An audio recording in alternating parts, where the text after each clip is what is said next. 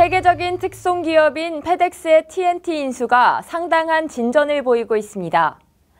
양사 합병의 경쟁 침해 가능성을 조사해온 EU 집행위원회는 이의 진술서를 전달하지 않기로 결정한 것으로 알려졌습니다.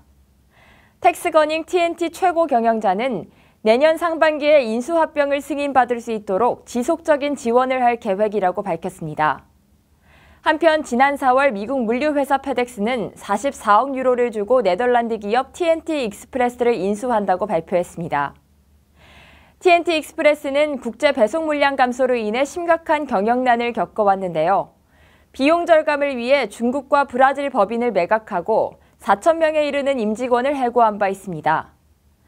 매각 발표 이후에도 TNT의 영업 실적은 부진을 이어가고 있습니다.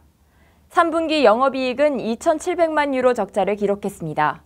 KSG 뉴스 이근합니다.